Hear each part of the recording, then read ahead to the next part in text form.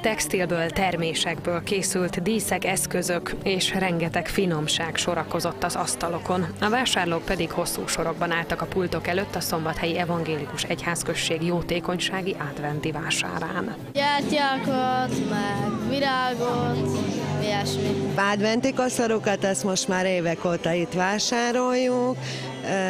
Gyöny- Nagyon finom süteményeket lehet kapni, szép díszeket.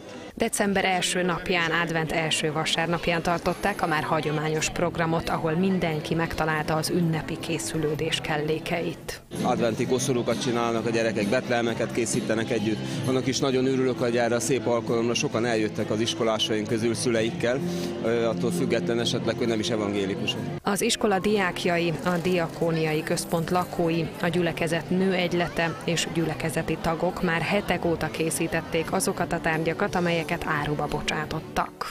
Az adventi alkalmakra mindig próbálunk valami különlegességet összeállítani. Most idén ez a rajz, ö, rajzos adventi naptár volt, ami szintén az iskolából származó gyerekeknek a rajzait tartalmazza. Nagyon népszerű, úgy hallom, hogy igen, sokat megvásároltak belőle. Az adventi vásár bevételét az evangélikus egyházközség ifjúsági munkájára fordítják.